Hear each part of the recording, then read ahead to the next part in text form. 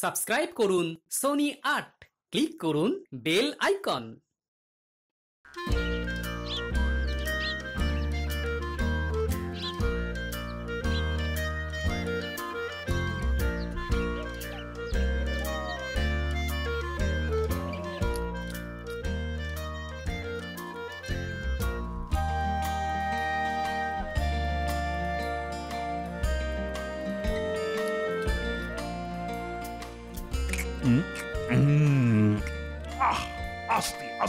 তোর এটা হাত না কামার শালায় লোহা পেটানোর হাতুড়ি হ্যাঁ?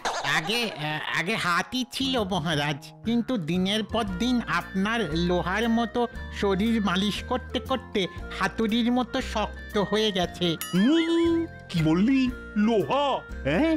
এত বড় আস্পর্ধা। কেন মহারাজ আমি কি কিছু ভুল বললাম? আলবাত ভুল বলেছিস। আমার শরীর ও সব কম দামি ধাতুতে গড়া নয়।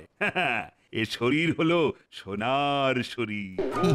বাবা বাবা মহারাজের মনে হয় মাথাটাই খারাপ হয়ে গেছে। কি হলো কি? পায়ে মালিশ করা বন্ধ করলে কেন? যেরকম করছিলে চালিয়ে যাও। তবে একটু ধীরে ধীরে তরদ দিয়ে মালিশ করো। যথাজ্ঞা মহারাজ।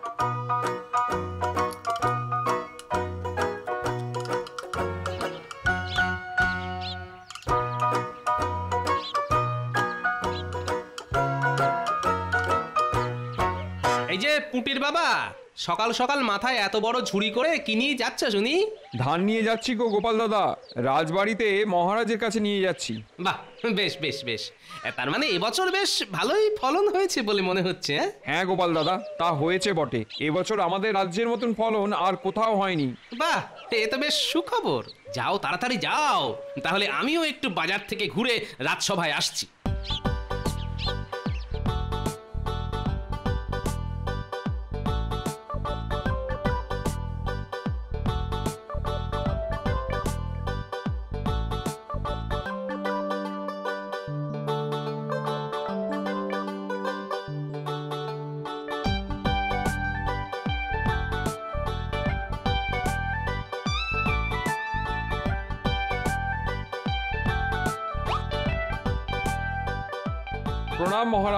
ঠিক আছে ঠিক আছে। ওসব প্রণাম টোনাম আর দেখাতে হবে না। অতি ভক্তি চোরের লক্ষণ। নাও নাও নাও কাজের কথা বলো তো।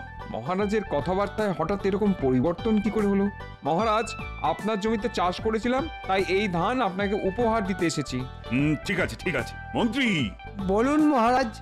এই ধানগুলো ঝটপট বিক্রি করি যা টাকা হবে সেগুলো সিন্ধুকে ভরে ফেলো হ্যাঁ? হ্যাঁ আর এক এক পাই পয়সারও হিসেব নেব কিন্তু। আচ্ছা ঠিক আছে মহারাজ। কি হলো? তোমরা এখনও হাঁ করে এখানে দাঁড়িয়ে আছো কেন? আগে মহারাজ যদি এবছর বীজ ধান কেনার টাকাটা দেন তাহলে খুব ভালো হয়। কি বললে? টাকা?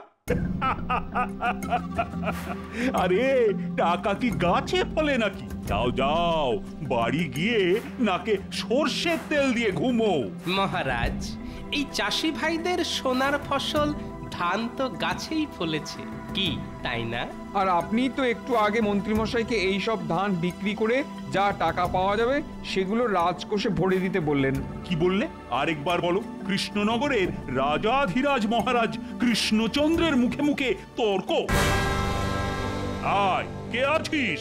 এই তিন চাষিকে এক্ষুনি বন্দি কর। মহারাজ ওরা গরিব চাষি। ওদেরকে আপনি ওরকম ভাবে না বললেই পারতেন।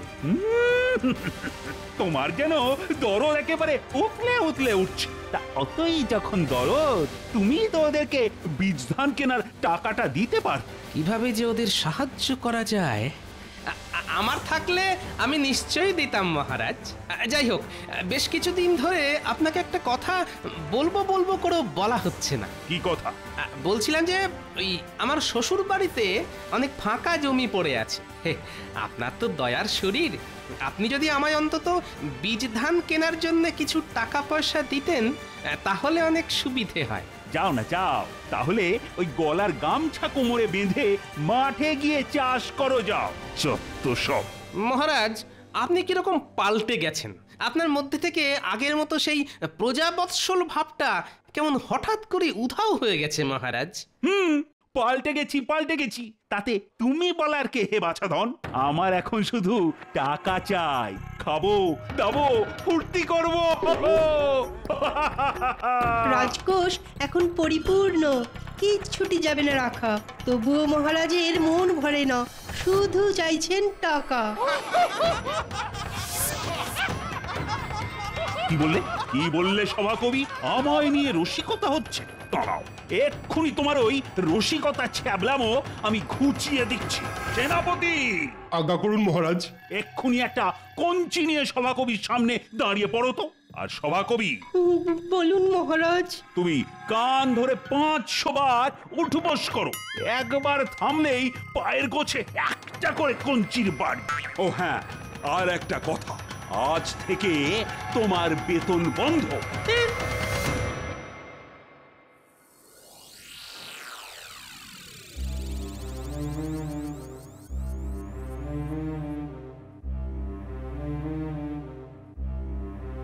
না না না না আমার এত সম্পত্তি আমি কাউকে দেব না, কাউকে না। তখন থেকে কি বলছেন?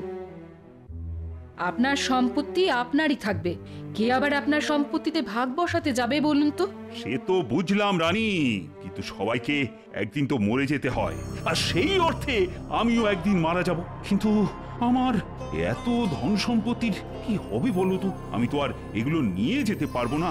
না না না না না এ হতে পারে না। এটা অন্যায়। আমার সম্পত্তি আমি কাউকে দেব না। না না কাউকে না। বাহ বাবা বাবা বাবা বাহ ঠিক এইরকম একটা সুযোগের জন্য আমি অপেক্ষা করছিলাম এতদিন। গোপালকে রাজসভা থেকে সরাতে হবে। মহারাজের সব সম্পত্তি হাতিয়ে নিতে হবে।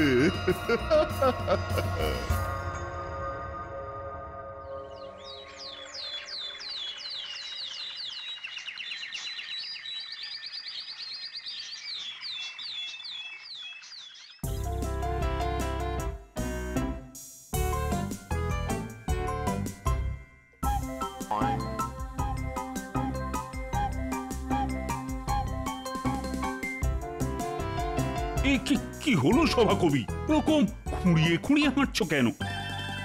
এই রাজ্যে মহারাজের ওপর তর্ক করা মানা পাঁচশো বার উঠবোস করে পায়েতে যন্ত্রণা। কি বলি বলি? আর ছন্দ বেরোচ্ছে না বন্ধ আমার মাথা। যন্ত্রণার চোটে মরে গেলাম। কি ব্যথা।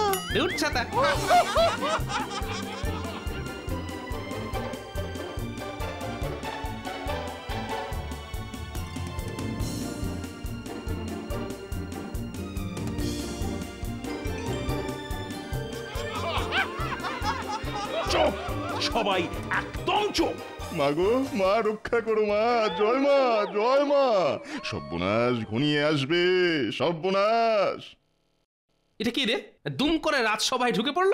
বাবা আপনি কি? কোথা থেকে এসেছেন? সর্বনাশ ঘনিয়ে আসবে সর্বনাশ। আমি আমি কাউকে ভয় পাই না ভূত চোর বা মাতাল। আমার বাস সর্বত্র স্বর্গ মর্ত বা পাতাল। সভাকবি এই সাধু বাবা যা ঝলক দেখাচ্ছে তোমার মাইনেটা তো বন্ধ হয়েছে এবার। মনে হচ্ছে রাজসভায় আসাটাও বন্ধ হয়ে যাবে। কৃষ্ণচন্দ্র তোর সভাসদেরা দেখছি একজন অতিথিকে কীভাবে সম্মান দিতে হয় তাও জানে না। সাধু বাবা আমার মনে হয় আপনাকে কোথায় যেন দেখেছি কিন্তু ঠিক মনে পড়ছে না। দেখতে পাওয়াটাই স্বাভাবিক। আমি সূক্ষ্ম রূপে কখন কোথায় থাকি তা নিজেও জানি না। বলুন সাধু বাবা আমি আপনার জন্য কি করতে পারি? আমার কোনো উপকার তোকে করতে হবে না রে মূর্খ বালক। আমি নিজেই তোকে সাহায্য করতে এসেছি। কি সাহায্য সাধু বাবা? তোর মনে কালকে রাত থেকেই একটাই প্রশ্ন ঘুরপাক খাচ্ছে যে তুই কীভাবে মৃত্যুর পরে তোর সমস্ত সম্পত্তি নিয়ে পরলোকে যাবি তাই তো? হ্যাঁ হ্যাঁ বাবা ঠিক বলেছেন। এই কথা তো রানী ছাড়া আর কেউ জানে না। তা আপনি জানলেন কি করে? ওরে ওরে বালক আমি অন্তর্জামী রে অন্তর্জামী অন্তর্জামিনা ছাই। নিশ্চয়ই আপনি যখন রানীমার সাথে কথা বলছিলেন এই সাধু বেটা রাজবাড়ির কাছাকাছি কোথাও খাপটি মেরে লুকিয়েছিল। চুপ করো গোপাল চুপ করো। আমাকে আর উত্তেজিত করো না। সাধু বাবা আপনি গোপালের কথায় কিছু মনে করবেন না। মন? সেটা কি জিনিস? আমার জন্ম মৃত্যু শরীর মন বলে কিচ্ছু নেই। আমি? কিন্তু বাবা আমার তো মন আছে। আর আমার মনের ইচ্ছে আপনি যখন জানেন তখন কীভাবে সেই ইচ্ছে পূরণ হবে সেটাও নিশ্চয়ই আপনি জানেন। হ্যাঁ তা তো জানি। কিন্তু সেজন্য তোকে কোনো প্রিয় পাত্রের বলিদান দিতে হবে।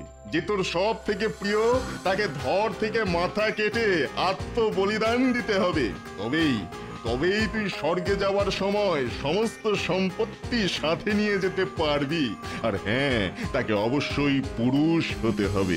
কিন্তু রানী ছাড়া আমার কাছের লোক বলতে তো আমার এই রাজসভাসদেরাই এই মরেছে এই যে দেখছি হাওয়া গরম আমি বরং এবেলায় ভালোই ভালোই কেটে পড়ি। মহারাজ আমার খুব ইয়ের ইয়ের চাপ এসেছে। আমাকে যেতে হবে আমাকে যেতে হবে। যা তাহলে তো রাজ সভাসদের মধ্যে যে সব থেকে প্রিয়, তাকেই ধর থেকে মাথা কেটে আত্মবলিদান দিতে হবে। তুই নিজের ভালো চাস তো এই একটাই রাস্তা, একটাই। এই রে, এ তো এ তো মহা বিপদ হ্যাঁ? এইসব পাগলা সাধু বাবার কাছাকাছি থাকলে তো নিজের প্রাণটাই যাবে দেখছি। না পালাও পালাও, সব পালাও। পালাও কি বললি? এক্ষুনি সবাইকে ভস্য করে দেব। বল বল দেব? দেব?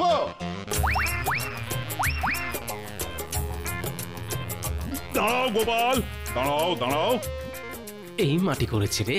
এই সাধু বাবা মিথ্যে কথা বলতে পারেন না। তিনি আমার মনের কথা জানেন যখন তখন তিনি নিশ্চয়ই আমার সম্পত্তি নিয়ে স্বর্গে যাওয়ার ব্যাপারে ঠিক কথাই বলেছেন। এতে আমার আর কি করার আছে মহারাজ? হুম তোমাকে আত্মবলিদান দিতে হবে আমার জন্য। এই কৃষ্ণনগরের মহারাজ কৃষ্ণচন্দ্রের জন্য। হ্যাঁ এবার বেটা ফেঁসেছে। অনেকদিন পর আমার সুযোগ এসেছে মন খুলে হাসার। হ্যাঁ গোপাল তোকেই আত্মবলিদান দিতে হবে কারণ তুই হলি কৃষ্ণচন্দ্রের সব থেকে প্রিয় ব্যক্তি।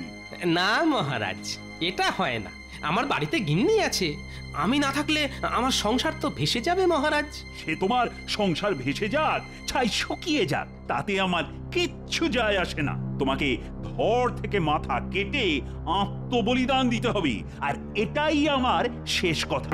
আর হ্যাঁ তুমি যদি নিজে থেকে আত্মবলিদান না দাও, তাহলে আমাকে বাধ্য হয়ে নিজের হাতে তোমার প্রাণ নিতে হবে।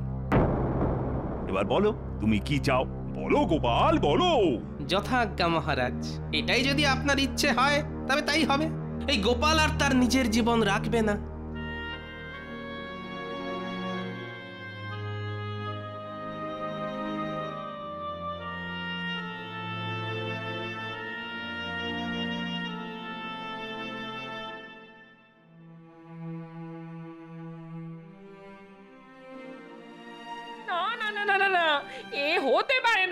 মহারাজ কি পাগল হয়ে গেছে না একটা উটকো সাধুর কথায় জীবন দিতে হবে কেন এ আমি তোমাকে হারাতে পারব না গো আমি তোমাকে হারাতে পারব না। এরকম ছেলে মানুষই করো না গিন্নি। মহারাজের আদেশ আমাকে আত্মবলিদান দিতেই হবে। নইলে মহারাজ নিজে থেকে আমার শরীর থেকে আত্মা আলাদা করে দেবেন।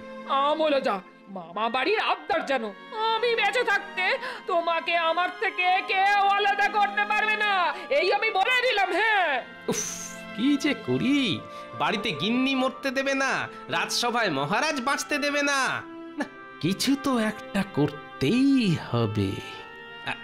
শোনো গিন্নি এদিকে শোনো এদিকে শোনো। তোমার সাথে শেষবারের মতো কানে কানে কিছু কথা আছে।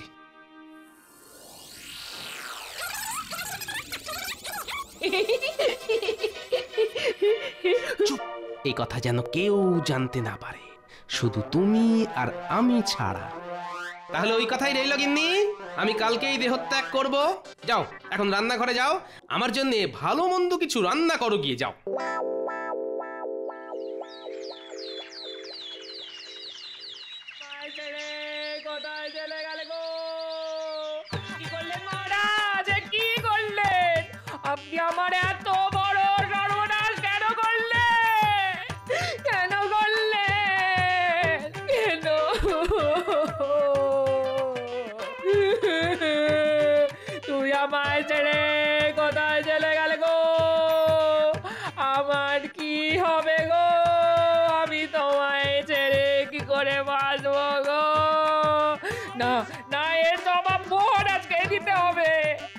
তোমার মৃত্যুর জবাব চাই গো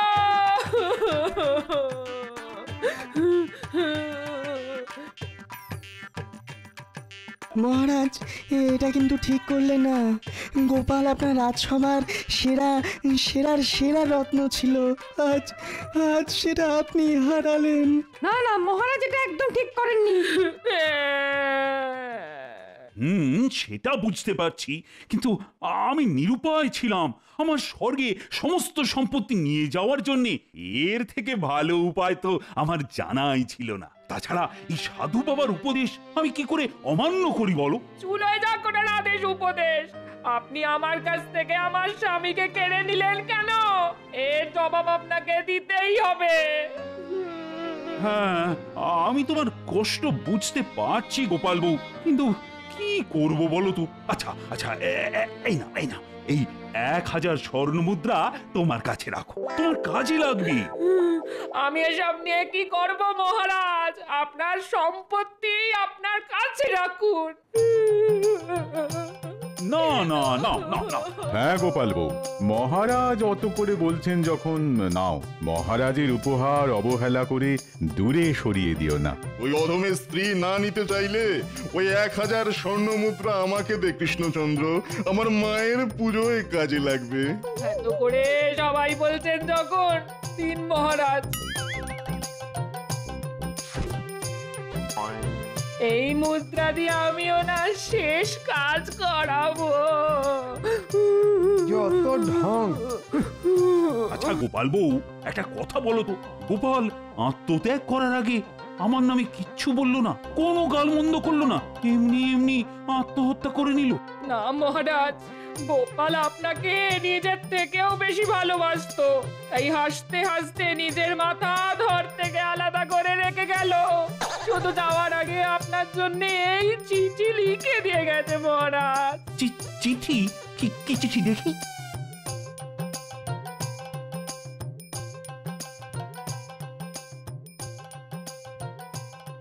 পত্রের প্রথমে আপনাকে জানাই, আমার হৃদয় থেকে বেরিয়ে আসা সমস্ত প্রেম, শুভেচ্ছা ও সাতানব্বই কেজি ভালোবাসা। মৃত্যুর আগে আমার ওজন সাতানব্বই কেজি ছিল আর আমার পুরো শরীরটাই আপনাকে উৎসর্গ করে সাতানব্বই কেজি ভালোবাসা পাঠালাম। আত্মাটা ওজন করতে পারলে ওটা যত কেজি ওজন হতো, তাও আপনাকে বিনামূল্যে দিতাম। যাই হোক, বাজে নাবকে কাজের কথায় ফিরি। আমি না হয় আপনার কথা রাখার জন্যে আমার সংসার, আত্মীয় পরিজন সবাইকে ভুলে গিয়ে শুধু আপনার মুখের পানে চেয়ে আত্মবলিদান দিলাম। কিন্তু একটা কথা ভেবে দেখেছেন কি মহারাজ? পৌরাণিক যুগ থেকে শুরু করে আজ অবধি কোনো রাজা কি তার সম্পত্তি নিয়ে স্বর্গে যেতে পেরেছেন? সে যুগে রামায়ণের রাম হোক কি মহাভারতের যুধিষ্ঠির? কেউ এই পৃথিবীর একটা ধূলিকণাও পরলোকে নিয়ে যেতে পারেননি মহারাজ। তাহলে আপনি কি করে ভাবলেন যে আপনি স্বর্গে সম্পত্তি নিয়ে যাবেন? এই প্রশ্নের কি কোনো উত্তর আছে আপনার কাছে? বলুন মহারাজ বলুন উত্তর আছে?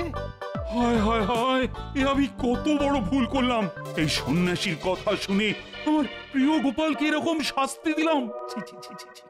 আমি আমি নিজে কিটা কীভাবে করতে পারলাম? আমার নিজেকে বড় অপরাধী বলে মনে হচ্ছে। আমি একজন খুনি। গোপাল দাদাকে অকারণে মরতে হলো কেন? জবাব চাই জবাব দাও। জবাব চাই জবাব দাও। এর জবাব চাই জবাব দাও। শুধু মহারাজ না সব হয়েছে এই সন্ন্যাসীটার কথা শুনে। বলুন বাবাজি আপনি এরকম কেন করলেন সেটা বলুন জবাব দিন। এ কি? সাধু বাবার গোপ খুলে গেছে। কি? সাধু বাবার গোপ খুলে গেছে? কই কই দেখি দেখি দেখি। এই দূরে যা দূরে যা বলছি দূরে যা। নইলে কিন্তু সবাইকে ভস্য করে দেবো ভস্য করে দেবো। হ্যাঁ? এ এ কি? ভগবান তুমি? ছি ছি ছি ছি ভগবান তোমার কথা শুনে আমি আমার প্রিয় সভাসদ গোপালকে হারালাম। হায় হায় হায় হায়। এই এই তোমরা কে আছো? এক্ষুনি একে শুলে চড়ানোর ব্যবস্থা করো। ভুল হয়ে গেছে মহারাজ। আমাকে ক্ষমা করুন। ক্ষমা? কিসের ক্ষমা? মানুষের জীবন নিয়ে খেলার জন্য জঘন্য অপরাধ ক্ষমা করব? না না না কখনোই না। আপনি তো অবিবেচকের মতো একটা ভণ্ড সাধুর কথা শুনে গোপালকে আত্মহত্যা করার আদেশ দিলেন। তাহলে মহারাজ বলুন আপনি কি ক্ষমার যোগ্য হ্যাঁ? না গোপাল বউ না। আমি একজন খুনি তাই আমারও শাস্তি পাওয়া দরকার। আজ আমি তোমাদের সকলের সামনে নিজেকে শেষ করে দেব।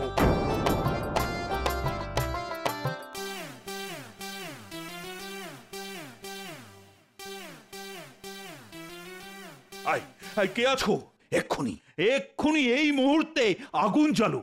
আমি জ্যান্ত সেখানে ঝাঁপ দেব। প্রণাম মহারাজ। হ্যাঁ আমি। কেউ ভূত ভেবে ভয় পাবেন না। আমি সত্যিকারের মানুষ। আমাকে চিমটি কেটে দেখুন। তুমি বেঁচে আছো গোপাল? হ্যাঁ স্বচ্ছন্দে। তাহলে ওই চিঠি এই থালার উপর তোমার মাথা এগুলো কি চিঠিটা তো আপনাকে উপলব্ধি করানোর জন্যে যে মৃত্যুর পরে মানুষ সাথে করে কিচ্ছুটি নিয়ে যেতে পারে না খালি হাতে পৃথিবীতে আসে খালি হাতে পৃথিবী থেকে চলে যায় তাই চিঠির মাধ্যমে এটাই আপনাকে শিক্ষা দিলাম মহারাজ আর থালার উপর তোমার ওই মাথা এ তো একটা মাটির ভাঁড় হ্যাঁ আমিও তো আপনার রাজসভার ভাঁড় তাই ভাঁড়ই রেখেছি। এই গোপাল বউ আমার এক হাজার স্বর্ণ মুদ্রা ফেরত দাও এক্ষুনি দাও বলছি। না না না ওটা তো আর ফেরত পাবেন না। কেন? তুমি তো মরইনি তাহলে তোমার সৎকার করার জন্য আবার কিসের টাকা হ্যাঁ? ওটা মহারাজ আমার দেওয়া শিক্ষার দাম।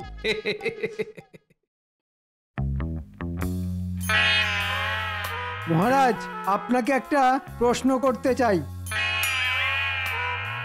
ক্ষমা করবেন মহারাজ। আপনি কি কিছু ভাবছেন মহারাজ? হুম আহ, কিছু বললে মন্ত্রী? মহারাজ দেখছি আজ বড়ই উতলা। সব কুশল আছে তো? আশা করছি ঈশ্বরের কৃপায় রাজপরিবারের সবাই সুস্থ আছেন। কিন্তু মহারাজ আপনি দীর্ঘ নিঃশ্বাস ফেললে যে আমাদেরও চিন্তা বাড়ে। না না মহারাজ যখন বলছেন সব ঠিক আছে তাহলে চিন্তার কিছু নেই। আমি মনে হয় ধরতে পেরেছি মহারাজের এই বিশেষ চিন্তার কারণ। হুম মন্ত্রী তুমি ধরতে পেরেছ? বেশ শুনি কি ধরতে পেরেছ। এই যে গোপাল প্রতিদিন রাজসভায় দেরি করে আসে তার জন্য তাকে কি শাস্তি দেওয়া যায় আপনি সেটাই ভাবছেন। আর এটাই আমার প্রশ্ন ছিল যে মহারাজ গোপালকে কীরকম শাস্তি দেবেন? ওই তো গোপাল এসে পড়েছে। মহারাজের জয় হোক। তাহলে মহারাজ গোপালকে কীরকম শাস্তি দেবেন? নাম করতে না করতেই যে এসে পড়ে তাকে আর কি শাস্তি দেব বলো তো মন্ত্রী? কেন মহারাজ?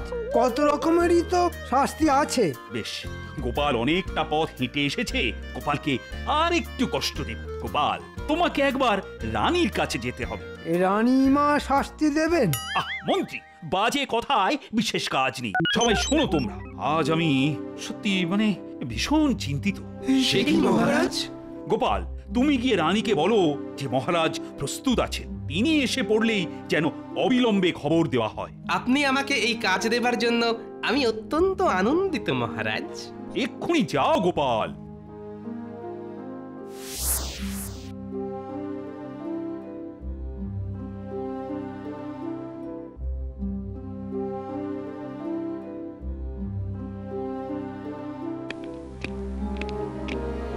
কি সংবাদ গোপাল? তুমি কিছু বলতে এসেছ? প্রণাম রানীমা। মহারাজ আমাকে আপনার কাছে পাঠালেন একটি বিশেষ কারণে। কেন? তিনি নিজে আসতে পারলেন না কেন? মহারাজ রাজসভার কাজে ব্যস্ত। তাই উনি বলে পাঠালেন যার আসবার কথা আছে তিনি এলে সঙ্গে সঙ্গে যেন রাজসভায় খবর দেওয়া হয়। বেশ তাই হবে। তিনি তাহলে মনে রেখেছেন। মহারাজ তো মনে হলো বিশেষ কারণে চিন্তিত। রানিমা আপনি কি এ ব্যাপারে কিছু বলতে পারেন? মানে যিনি আসছেন তার পরিচয় কি খুব গোপনীয়? না না গোপনীয় হবে কেন? বরং তাকে সম্মানের সাথে স্বাগত জানাতে হবে। বিশেষভাবে তার দেখভাল করতে হবে। কারণ তিনি আমার মামা। মামা? ও তাই বলুন রানিমা। এ তো অত্যন্ত আনন্দের খবর। হ্যাঁ তুমি দেখছি জানতে না? তার মানে রাজসভার কেউই জানে না। তুমি গিয়ে এক্ষুনি রাজসভায় গিয়ে বলে দাও রানীমা বলে পাঠিয়েছেন তার মামা আসছেন। তার যত্নতে যেন কোনো ত্রুটি না থাকে। রানীমা আমি বলব মহারাজ যদি আমার উপর রাগ করেন। মহারাজ রাগ করলে বলবে এটা ছিল রানীমার আদেশ। যথা আজ্ঞা রানীমা। মহারাজ ক্ষমা করবেন কিন্তু এবার আমি সত্যি সত্যি ভীষণ চিন্তায় পড়ে গেছি যে এমন কে আসছেন যার জন্য আমাদের মহারাজ এত চিন্তিত। মহারাজ আমাদের একবার বলেই দেখুন না যদি আপনার বিশেষ চিন্তা দূর করতে পারি। দেখো তোমরা আমার চিন্তা দূর করতে পারবে না তবে তোমাদের জানাটাও দরকার। হ্যাঁ নিশ্চয়ই মহারাজ সব কিছু ঠিক সময়ে জানতে পারলে তবেই তো বিজ্ঞানের উন্নতি হবে। ভালো বলেছ বিজ্ঞানী। তবে সবার আগে আমি রাজ জ্যোতিষীর থেকে জানতে চাইব আমার এবং এই রাজ্যের ওই রাজসভার আগামী কয়েকদিনের ভবিষ্যৎ। মহারাজ আগামী কয়েকদিনে এই রাজ্যে শনির কোনো প্রভাব নেই। তাই যিনি আসছেন তিনি এই রাজ্যের অমঙ্গল করবেন না। তবে তবে আছে নাকি কিছু সংশয়? আমার যে লাগছে বড্ড ভয়। এত চিন্তার কি আছে? আহ, ঠিক চিন্তার আছে। ভয় নেই কিন্তু চিন্তা আছে। শুধু চিন্তাই আছে মহারাজ আর তার রাজসভার। আহ এ কীরকম হেয়ালি হচ্ছে? হেয়ালি? এ কি শুধুই হেয়ালি নাকি খাম খেয়ালি? হুম বুঝতে পেরেছি রাজ জ্যোতিষী যিনি আসছেন তিনি সবাইকেই খুব চিন্তায় রাখবেন। কিন্তু সেই চিন্তা দূর করবে কে? একমাত্র কৃষ্ণ সহায় হবেন। কৃষ্ণই পারে সবাইকে এই চিন্তা থেকে দূর করতে। শুধুই কৃষ্ণ আর কোনো গ্রহ নক্ষত্র নয়। চমৎকার রাজ্যদেশী আপনি চিন্তা করবেন না মহারাজ। আপনি পারবেন নিজেই সবাইকে এই চিন্তা থেকে দূর করতে। বেশ আমার ভাবনা তাহলে রইল না। এবার তাহলে সবাই শোনো কে আসছেন? বলুন মহারাজ। বলুন মহারাজ যিনি আসছেন ইনি হলেন রানীর মামা। মামা? মানে মহারাজের মামা শ্বশুর সজ্জন সুজন নহে অসুর। ঠিক ঠিক তিনি আমাদের সুজন। কিন্তু বড়ই খুঁত খুঁতে বিস্তর জ্ঞান। তাই সবাইকেই উদ্ভট প্রশ্ন করে ভারী লজ্জায় ফেলেন। তিনি কি আমাদের পরীক্ষা নেবেন? বলা যায় না নিতেই পারেন। আর সেক্ষেত্রে তার প্রশ্নের উত্তর দিতে হবে বই কি? না পারলে তো পণ্ডিতের লজ্জা। তবে শুনেছি উনি এখন বেশ অসুস্থ। সারাক্ষণ ধরে পরলোক চিন্তা করছেন। তাঁর মনে হয়েছে তিনি আর বেশি দিন এই জগতে নাকি থাকবেন না। তাই বলতে গেলে শেষ দেখা তার ভাগ্নি মানে তোমাদের রানীকে দেখতে আসছেন। ও তাই বলুন। তাহলে উনি এবারে আর বেশি প্রশ্ন করবেন না। এসো গোপাল। রানীকে যা বলার সেটা বলেছ তো? আজ্ঞে মহারাজ রানীমা বলেছেন যিনি আসছেন তার যেন কোনো যত্নের ত্রুটি না হয়। আহ কি আশ্চর্য। এক্ষুনি সেই কথা তো আমি বললাম। মহারাজের জয় হোক। কি বলতে এসেছ প্রহরী? রানীমা জানালেন তার মামা এসেছেন। আচ্ছা বেশ এসে গেছেন। তিনি এসে গেছেন। আমাকে এক্ষুনি ভেতর মহলে যেতে হবে। আজকে রাজসভা তাহলে এখানেই শেষ। কেমন?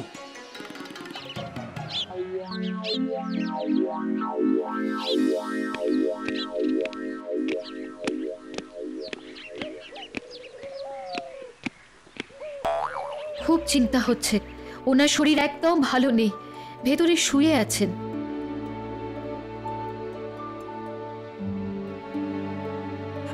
আমার প্রণাম নেবেন। আশা করছি মানে এতটা পথ আসতে কোনো অসুবিধে হয়নি। আমার রাজ্যে আপনাকে সাদর অভ্যর্থনা জানাচ্ছি। তোমাকে ধন্যবাদ জানাই কৃষ্ণচন্দ্র।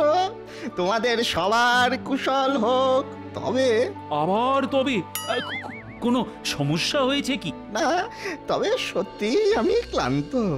একমাত্র মৃত্যু কাছে এলে মানুষ এটা অনুভব করে। না না না না না না এ আপনি কি বলছেন? আপনার কিচ্ছু হবে না। আমি তো আপনাকে বেশ সুন্দর দেখছি।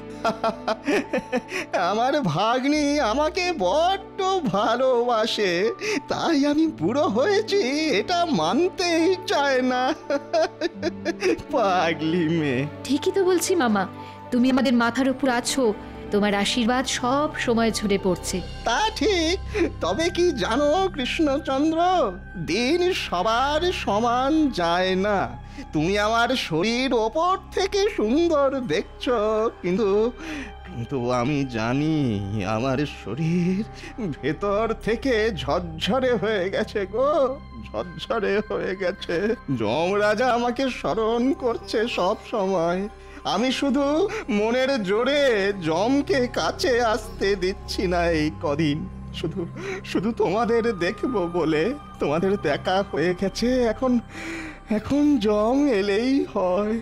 আমি বরং একবার রাজবৈদ্যকে আসতে বলি। তার পাঁচন খেলেই আপনি হবেন জমের অরুচি। তোমার ওই কবিরাজ আমার কিছুই করতে পারবে না। আমার তো আমার তো যাবার সময় হয়ে গেছে। হুম বড় সমস্যায় পড়লাম যে গোপাল। আপনি এত বেশি চিন্তা করবেন না তো?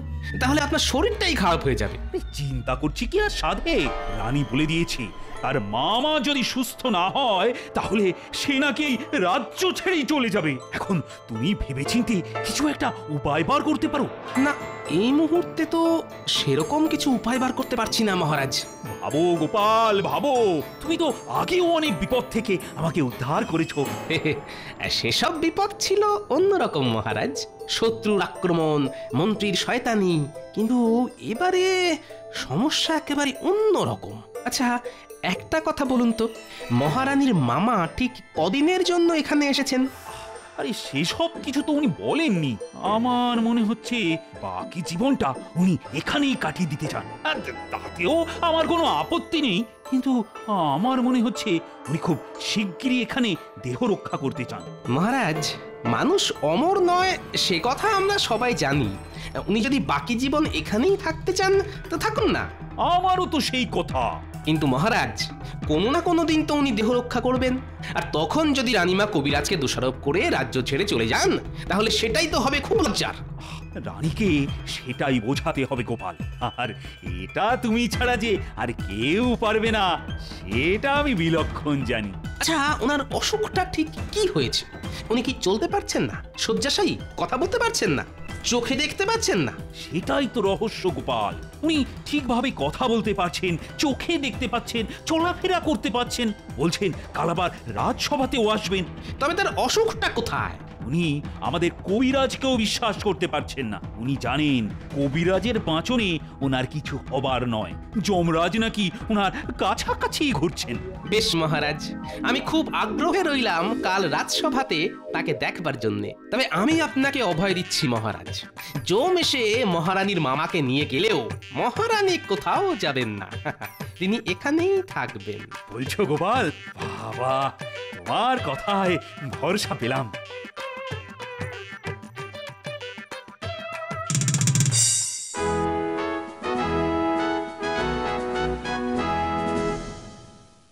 গোপাল কি নিয়ে আর ভাড়া গেল না? বললাম আজ একটু তাড়াতাড়ি আসতে। মহারাজ আমাদের মাননীয় অতিথি কি আজ রাজসভাতে আসবেন? উ- উনি উনি এক্ষুনি এসে পড়বেন।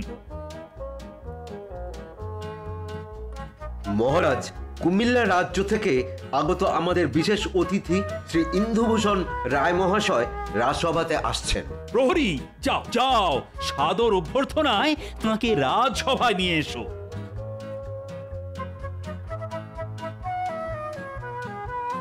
আসন গ্রহণ করো গোপাল। তুমি তো দেখছি একেবারে সঠিক সময়ে এসেছ। যথা আজ্ঞা মহারাজ। শয়তানটা ঠিক সময় এসে গেছে। ইস আর একটু দেরি করলে অতিথির অপমান বলে ওকে ঢুকতেই দিতাম না। প্রণাম প্রণাম। আপনি আসন গ্রহণ করুন। আপনাকে পেয়ে আজ রাজসভা ধন্য। আশা করি আজ আপনার শরীর ভালোই আছে। এই মুহূর্তে ভালো তবে খানিকক্ষণ পরেই খারাপ হবে আমি জানি। হায় হায় আমার দিন তো শেষ হলো। ওই হরি যেন ডাকছে আমাকে। হরি হরি হরি হরি হরি। হরি মানে তো কৃষ্ণ। তবে জ্যোতিষী কৃষ্ণ বলতে কি হরির কথাই বুঝিয়েছি। হরি দিন তো গেল সন্ধ্যা হলো। পার করো আমাদের থাক না থাক না। এসব অমঙ্গল চিন্তা করে লাভ আছে কিছু। বরং আমরা আপনার থেকে শুনতে চাই সেই ডাকাত ধরার গল্প। সবাই শোনো উনি কিন্তু ভীষণ সাহসী ছিলেন। একা হাতে ডাকাতদের সাথে লড়াই করেছেন। সেসব দিন কি আর আছে এখন হ্যাঁ? সে তো স্বপ্নের মতো বলে মনে হয়। আমি আমি এই রাজসভার জ্যোতিষীকে একটি প্রশ্ন করতে চাই। বলুন আপনি কি জানতে চান? আমি কুম্ভ রাশি কুম্ভ লগ্ন কৃত্তিকা নক্ষত্র দেবগণ শুক্লপক্ষের অক্ষয় তৃতীয়ায় জন্ম। বেশ আপনি হলেন লগন চাঁদ। রাশি লগ্ন এক হলে সেটাই বলা হয়। একই সাথে লগ্নে কেতু রাশিতে রাহু সামনে পিছনে শনি গ্রহের হুঙ্কার। আপনি আপনি বলুন আমার মৃত্যু কবে হবে হ্যাঁ? আপনি বলুন। রাহু কেতু শনি আপনার কোনো ক্ষতি করতে পারবে না যেহেতু অক্ষয় তৃতীয়ায় আপনার জন্ম। আপনি অক্ষয়। কালের নিয়মে আপনি দেহ ছাড়বেন কিন্তু তার এখনও অনেক দেরি। আর কারও দ্বারা আঘাত পেয়ে আপনি ইহলোক ত্যাগ করবেন না ওরে ওরে কৃষ্ণ এই জ্যোতিষী অপদার্থ এদেরকে বেতন দিয়ে পোষা হয় বুঝি আমি হলে কবে দূর করে তাড়িয়ে দিতাম আমার আমার মরার সময় হয়ে এলো আর এ বলছে কালের নিয়ম হ্যাঁ? ধুর। আপনি তাহলে গুরুতর অসুস্থ আমি আর বাঁচবো না আমি আর বাঁচবো না। বৈদ্য আজ্ঞে মহারাজ। আমাদের মহারানীর সম্মানীয় মামা আমাদের সবার সম্মানীয় অতিথিকে তুমি পরীক্ষা করে দেখো তার শরীরে কি সমস্যা হয়েছে।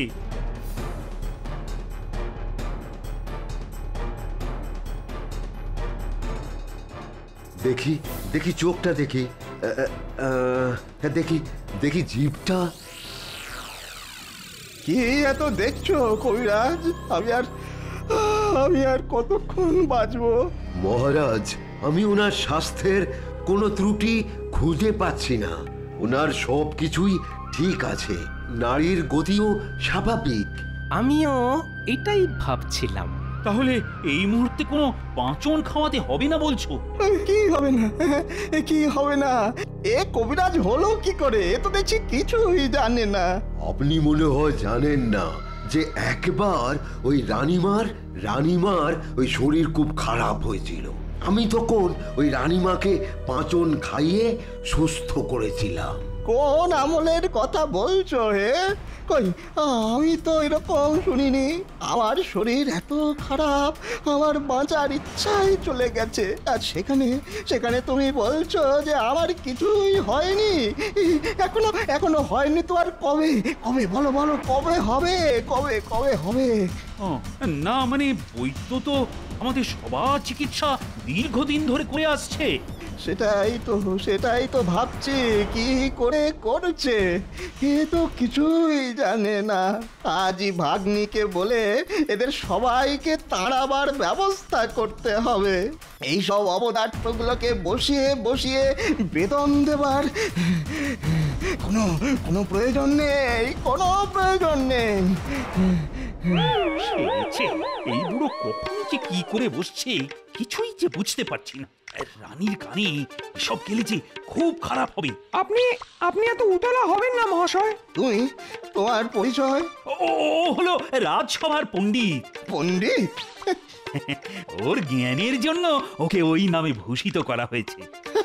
বলা তো হে পণ্ডিত জরা কেন আসে? বয়সকালে শরীর অশক্ত হয়ে যায়। থামো থামো থামো আর বোঝাতে হবে না। মনু সংহিতা পড়েছ? মনু এখনই দশটি শ্লোক বলো তো। কি পেয়েছেটা কি? আর কতক্ষণ চলবে এই তামাশা? ওরে ওরে বাবা ওরে বাবা আমার মাথা কেমন ঘুরছে। না না, আর বাঁচতে চাইছি না, আর বাঁচতে চাই না। চারিদিকে চারিদিকে সবাই মিথ্যুক, ভুলে ভরা বসুন ধরা আই আই আমার এই রোগ সারিয়ে তোলবার কি কেউ নেই? ওহে ওহে কৃষ্ণচন্দ্র অনেক আশা নিয়ে তোমার কাছে এসেছিলাম। কিন্তু কিন্তু তোমার সভাসদদের যা অবস্থা, তাতে বাঁচার কোনো দিশাই পাই না। ক্ষমা করবেন মহারাজ, তবুও আমি আমাদের মাননীয় অতিথিকে বলতে বাধ্য হচ্ছি যে আপনার কোনো রোগ হয়নি। রোগ আপনার মনের। আমি আমি পাগল পাগল। আমি এখনই চললাম ভাগ্নির কাছে। সবাইকে সবাইকে এই রাজসভা থেকে তাড়াতে হবে। সবাইকে তাড়াবো আমি।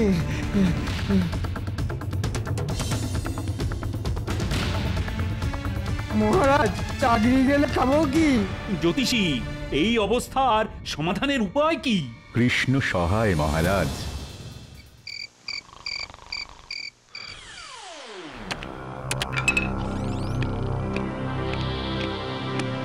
ইন্দুভূষণ ইন্দুভূষণ চল আমার সাথে তাকা এদিকে। দেখ আমি তোকে নিতে এসেছি ইন্দুভূষণ চিৎকার করিস না কেউ শুনতেও পাবে না। আমার সঙ্গে চল তোর জীবনের পরমায়ু এখানেই শেষ হয়ে গেছে। আমি যমরাজ তোকে নিতে এসেছি তোর জীবন শেষ হয়ে গেছে। আমার কি হলো? দোয়াই দোয়াই বাবা যমরাজ এখনই দেখা দিলে কেন? আমি যে একদম মরতে চাই না। বটে তাহলে তুই যে সব সময় বলিস তুই আর বাঁচতে চাস না। সে তো কথার কথা। না না যমরাজ তা তুমি নিজে এলে কেন? কোন দূত মানে যমদূতকে পাঠিয়ে দিলেই তো পারতে।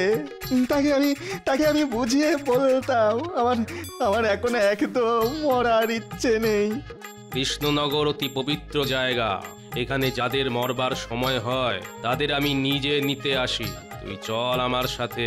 ও বাবা ও বাবা যমরাজ তোমার পায়ে পড়ি এমনটা করো না। ঠিক আছে তোর কথা শুনলাম তবে একটি মাত্র শর্ত।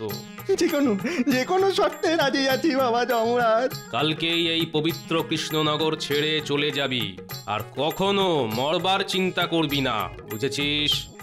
বুঝেছি বুঝেছি বাবা বুঝেছি। না হলেই কিন্তু আমি আবার আসব। আর সেবার কিন্তু খালি হাতে যাব না।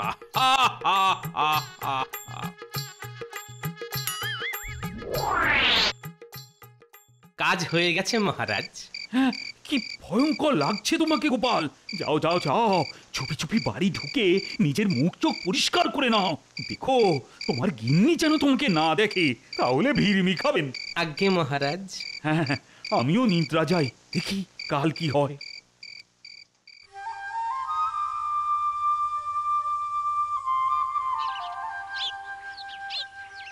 আমি আমি বিদায় নিচ্ছি কৃষ্ণ তোমাদের সকলের কাছ থেকে। আর কটা দিন থেকে গেলে হতো না? না আমার শরীর এখন সুস্থ। আমাকে এক্ষুনি ফিরতে হবে। পরে পরে আবার আসব। আবার? নিশ্চয়ই নিশ্চয়ই। আমরা সবাই আপনার আসার অপেক্ষায় থাকব। এটা কি করে সম্ভব হলো? মামা একদিনে এতটা পাল্টে গেল কি করে? সে তো আমাদের জ্যোতিষী বলতে পারবে। জ্যোতিষী বলো দেখি। আমি তো বলেইছি মহারাজ কৃষ্ণই পারবে আমাদের চিন্তা আমাদের বিপদ থেকে মুক্তি দিতে। হ্যাঁ, হ্যাঁ, হ্যাঁ, ঠিক বলেছ জ্যোতিষী। কৃষ্ণের আর এক নাম যে গোপাল সেটা তো ভুলেই গেছিলাম। আর এবারেও এই অদ্ভুত বিপদ থেকে গোপাল আমাকে রক্ষা করল। গোপাল তোমার একটি স্বর্ণ মুদ্রা প্রাপ্য। আমি এক্ষুনি খাজাঞ্চিকে বলছি। মাত্র একটা? একটা মামার জন্য। একটা হ্যাঁ? তাহলে আবার মামাকে ফেরত আনার ব্যবস্থা করি? ওই বাবা না না না না না না না। তোমাকে একশো মোহরই দিচ্ছি। রক্ষে করো। যা কি থেকে কি হচ্ছে কিছুই বোঝা যাচ্ছে না। আপনার অত বুঝে কাজ নেই মন্ত্রী মশাই হ্যাঁ?